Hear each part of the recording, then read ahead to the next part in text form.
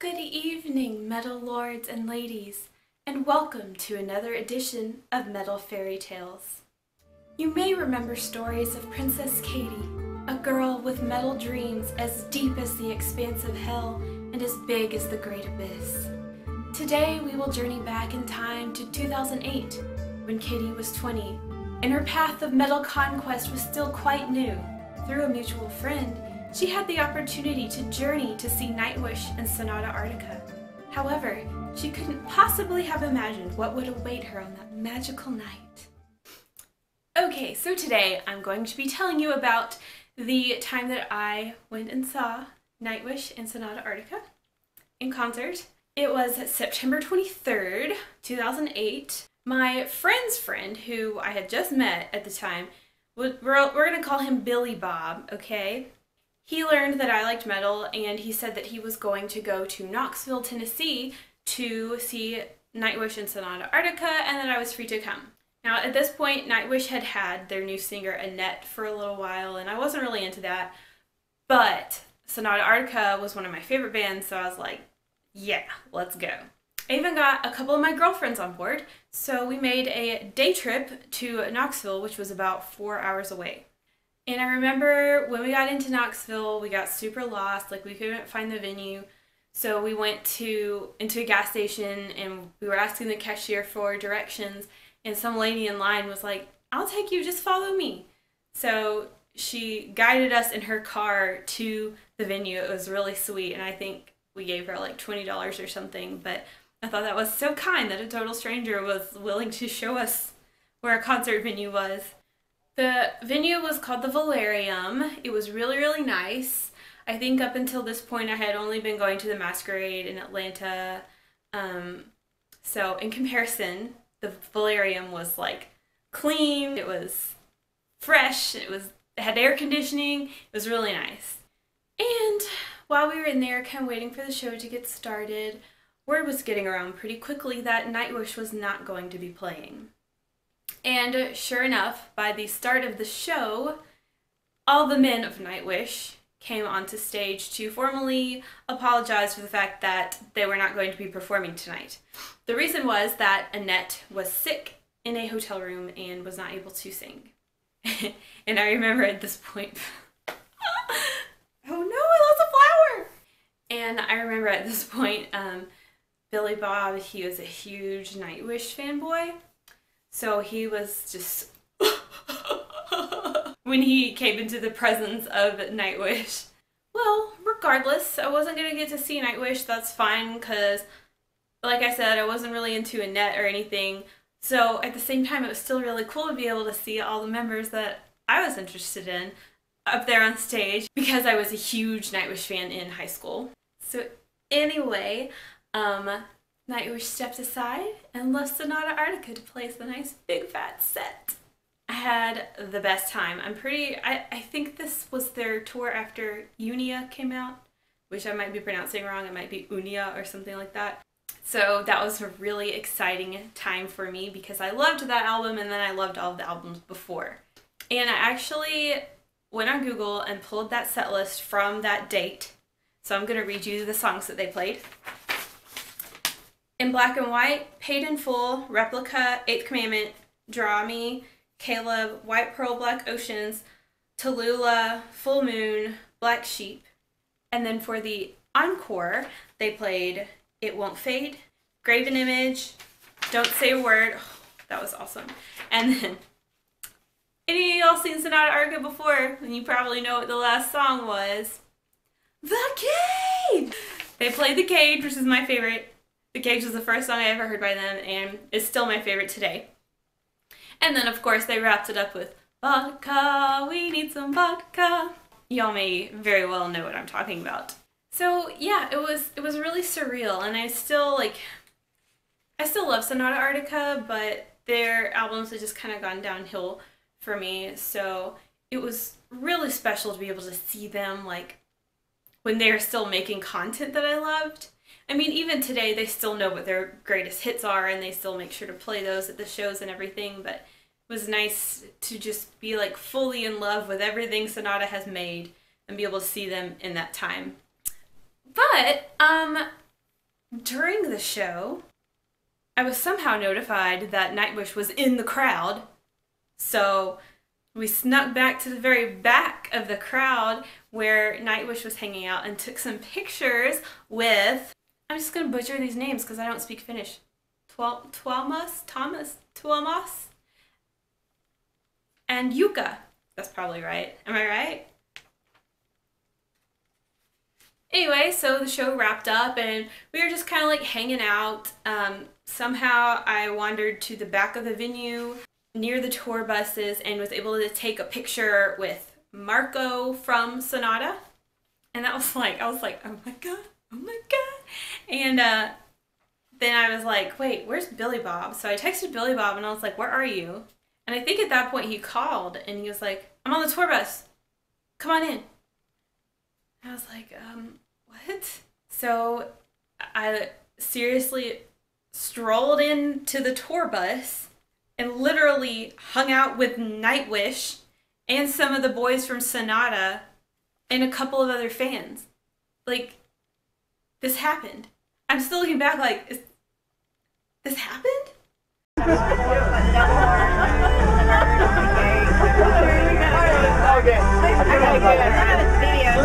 Hey, can you say um, can you say hi, Caroline? Hey, Caroline. It's for my sister. She couldn't come. Caroline, I, you know, I wouldn't make it. Probably got to y'all let me talk and everything. Thank you very much.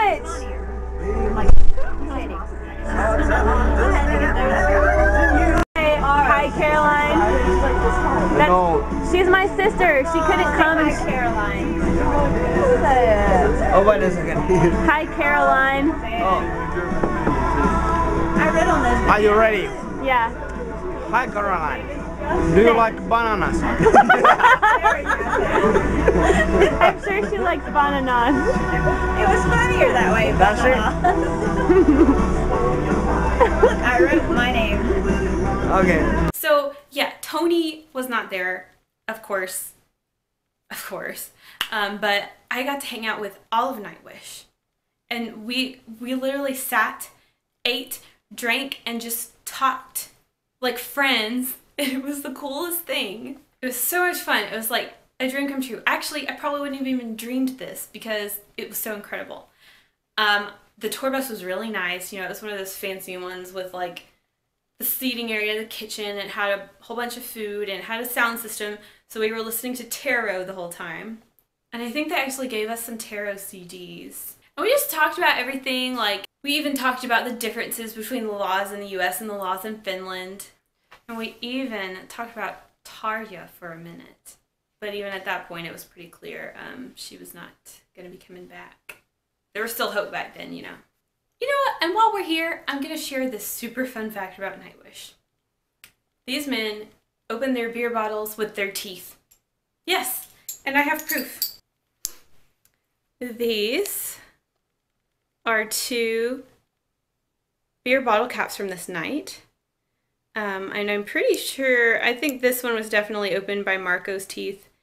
Um, and I don't know about the other, and I have, I have three actually. Um, but yeah, you can literally see like the two indentions from two teeth opened with his teeth. I used to carry this around in my purse everywhere and that's why it looks kind of dirty. So I always keep these bottle caps as just a reminder of that extremely surreal, incredible night. I never wanted to be one of those fans who's like too imposing or too obsessive or like who bothers the musicians. So typically I'm just like, no, I don't want to go say anything to them. But for some reason this night I was just able to jump on this the bandwagon with Billy Bob and um, hop on the tour bus. And it was also on this date that I was talking to my husband. We were kind of like talking, you know that, like pre-dating, just talking. Um, and I remember telling him like, I'm on the band's tour bus right now. And he responded like, you've got to be the coolest girl I've ever met. Okay, anyway, finally was time to evacuate the bus for whatever reason. And somebody, I don't know who, somebody gave us a ride in the back of a pickup truck back to our car. And I just remember like the feel of the warm summer air rushing all around us and just like this the orange streetlight glow and just that complete feeling of shock being shook that was before shook was a thing but we were shook. We were stunned we were ecstatic we were just going woo! and just screaming and laughing oh my gosh because we still could not believe this had just happened to us. Billy bob's eyes were so red from just like this emotional roller coaster of not being able to see nightwish but then being able to meet nightwish. And my girlfriends thought that this whole night was just the bee's knees even though they weren't necessarily like long-term fans of these bands they were just they were shook too. Well we didn't get back until about 4 a.m and i was in college at this time so i had class in the morning. And that was hard but you know sometimes happiness overrules the tiredness. And that that was the situation on september 24th the next day. That was my recounting as i remembered it. Um, but I do have my journal from that time. So I I'm just gonna like hit the highlights and get my perspective from the day after it actually happened. Today was a big day, and little did I know it, one of the best, most monumental days of my life. Girlfriend number one, girlfriend number two, and I were going with our new friend Billy Bob to Knoxville to see Sonata Arctica and Nightwish. We were all pumped. We met up and left about 2, all beautiful and excited. We listened to Nightwish, Sonata, and other gothic metal girly bands. Girlfriend number 1 had just made a new Facebook friend, and it turns out he lives in Knoxville. We got close and had to take a detour and got lost. A nice lady at a gas station showed us how to get into town. Then we called girlfriend number one's internet friend, and he showed us the Valarium. Oh, okay, so that's what happened. I remembered wrong. Knoxville is a nice place. There was a time change, and Billy Bob was freaking out about being late, but I told him not to worry. Girlfriend number one's friend told us that he heard the Nightwish singer was sick. We got there, and sure enough, Nightwish wasn't playing, so Sonata Arctica was playing for free. I forgot that was for free. Whatever. And that's who I really wanted to see. Yay, refunds for all. I forgot we got refunds. The Valarium was really nice, so much nicer than the Masquerade. We went outside in the to the smoking patio and met new people. There was a wide array of people there. We met an old lady metalhead with a tear shirt on, some goth girls, and this 28 year old guy who was like obsessed with me. Ew. Uh, I don't remember that. There's so much I don't remember. Well, some time passed, and we got pretty close before the show started. Oh, pretty close to the stage and soon out came the guys from Nightwish to apologize. I was starstruck. I freaked out and screamed my head off. I teared up. Girlfriend number two teared up, and Billy Bob was boohooing. We were basking in their beautiful presence, and soon they left, and out burst Sonata Arctica with in black and white. Okay, this impact hit me like a giant wave of everything I've ever loved and desired. I was so close, they sounded so perfect. It was all coming to life now. Here, I cried. Wow. It was pure amazement, so humbling, like seeing God or something for someone who cared about God. Next, they play Paid in Full, Eighth Commandment, Draw Me. They also play White Pearls, Black Oceans, Don't Say a Word, and lots of others. Nice long set. Full Moon, too. As the end drew near, Tony said they had one more song. I was dying for the cage. Half of the people were screaming Victoria's Secret, half of them were screaming the cage, and then an explosion of the cage. I freaked out. It was so good. My heart was so happy. Oh, yeah, halfway through Sonata, that guy that was in love with me. Why don't I remember that at all? That guy that was in love with me told us that Nightwish was in the back, so we met and took pictures with the beautiful drummer and keyboardist. And I hugged Tuol- Tuolmus. Sorry. We were so excited. After the amazing show, we hung out and talked for a while. Then we would run back because Billy Bob was set on meeting Marco. The guitarist from Sonata was out there and we met him. Creepy guy followed us drunk. I tried to get the guitarist to let me record him saying hello to my little sister, but he was too shy. I called Billy Bob asking where he was, and he was with girlfriend number two in the Nightwish tour bus, and he told me and girlfriend number one to come on up. Oh my god. And there was Marco. We all got pictures with him and hung out. Half of the people in there were speaking Finnish. Ha ha. There were so many drunk Finns in there. There was a tall, long haired, blonde, very drunk blonde man who liked to pet everyone on the head. We hung out in there for like two hours. It was amazing. I couldn't believe it was happening, but at the same time, we had to act cool and be chill. We spent the most time with Marco and Emppu. Marco could open beer bottles with his teeth. They were hilarious. We talked with them about all the differences between Finland and America, like drinking age and lots of other stuff. I met a girl from Finland, but she left. Talked to a really cool lady who was from Mississippi. We had such a great time. The keyboardist, guitarist, and bassist from Sonata came on the bus. Ah, we just had the best night of our lives, I swear. When they had to go to bed, I hugged everyone goodbye and we rode in the back of, ah, it was girlfriend number one's Facebook friend. We rode in the back of his truck to our car. We were screaming and reveling in joy, excitement, contentment, and disbelief. We talked about how we didn't care if we died right now, how perfect this was. Then we headed home. Our ride home was quite long, and I had to fight to stay awake. We finally got home at 4:30 a.m. Still saying, "Oh my god, I can't believe that happened." And then I crashed. It didn't matter how tired I was because I was so entirely happy and content, still in excited disbelief, still smiling wide when I would think about this amazing reality. That night showed me that dreams can come true, miracles are possible, anything can happen. Sometimes you just have to be aggressive and go for it with no fear. It showed me that life can be so amazing. I am so lucky. And meeting those guys, they are real people. Not intimidating at all. They're just real and nice and down to earth and chill. My eyes have been open to all the possibilities of things I can experience, things I can get if I just take chances and go for it. I can't forget these things. I'm feeling like a much more significant person lately.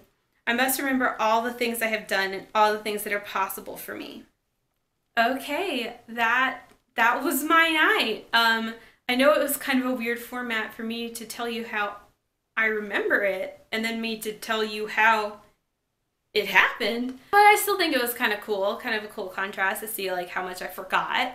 But it, it was kind of like reinvigorating to really revisit those memories and relive all the details again. That might have been a once in a lifetime chance but I'm still like, I am cool. I am a princess.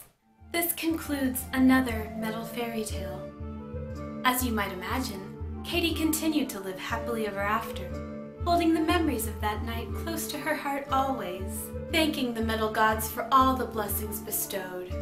Have a metal evening, and I'll see you in the next edition of Metal Fairy Tale.